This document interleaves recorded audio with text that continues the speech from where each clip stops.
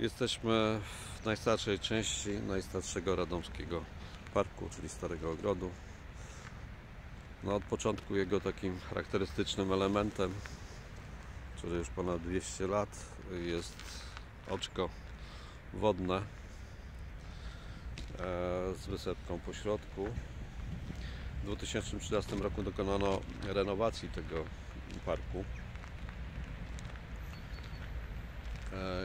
Mm, No i w ramach tego były przewidziane tutaj nasadzenia budki dla kaczek e, na tej wyspie. E,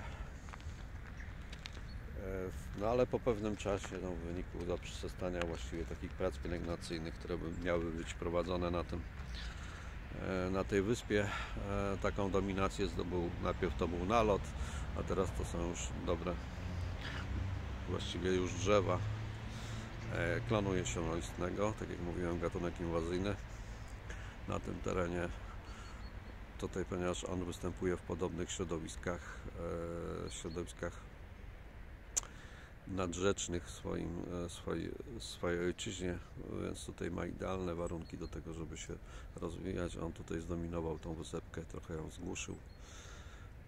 Te gatunki, które tutaj były wcześniej, no, nie miały szans. Natomiast no, były postulaty, żeby jednak wyciąć ten klon jesionolistny, bo no, chociażby y, no, nie jest ładny, prawdę mówiąc, ze względów wizualnych, no ale też y, inaczej miała wyglądać ta wyspa. No ale jakoś tak przez długi czas nikt nic nie robił, aż do tego momentu, kiedy tutaj bobry jesienią na ten teren się dostały. No i jak widać, no, rozpoczęły robotę. No niestety nie dokończyły.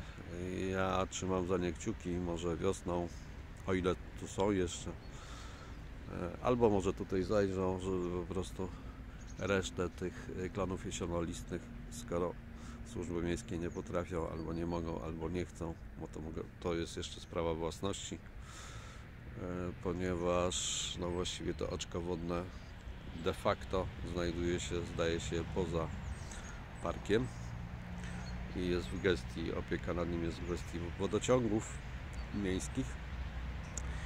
No niemniej dobrze by było, żeby tutaj bobry z tymi akurat drzewami zrobiły porządek w parku. No i żeby wrócić do tej pierwotnej koncepcji zagospodarowania tej wyspy, która jest przed nami.